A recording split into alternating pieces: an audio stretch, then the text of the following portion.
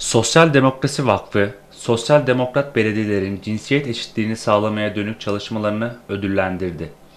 İsveç merkezli Alof Palma International Center ile bir işbirliği organize edilen ve 389 proje başvurusunun yapıldığı cinsiyet eşitlikçi dönüşüm projeleri ödülleri kapsamında projeler 13 kategoride değerlendirildi. Odunpazarı Belediyesi Kadın ve Aile Hizmetleri Müdürlüğü yerel yönetimlerde kadınları güçlendiriyoruz projesi ile yerel yönetimlerde kadın temsilcisi ve yerel demokrasi kategorisinde en iyi uygulamaya ödülünü aldı.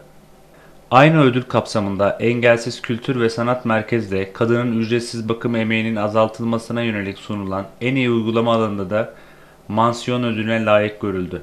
Kadın ve Aile Hizmetleri Müdürlükleri aldıkları her iki ödül için tebrik eden Başkan Kurt, Alpat ve müdürlükler ekibine başarıların devamını diledi. Kadınları ve çocukları mutlu bir odun pazarı için çalışmaya devam edeceklerini kaydeden Başkan Kurt, kadınların kişisel ve mesleki gelişmelerini meslek edinmeleri için kurslar düzenliyor, gözleri arkada kalmadan çocukların bırakarak işe gidebilmelerini ve kendi ayakları üzerinde durabilmeleri için kreşler açıyoruz dedi. Biz odun pazarında yaşayan kadınların kimseye muhtaç olmadan kendi ayakları üzerinde durabilmelerini ve kadınlara hayatının her alanında eşit temsil hakkı bulunmasını istiyoruz.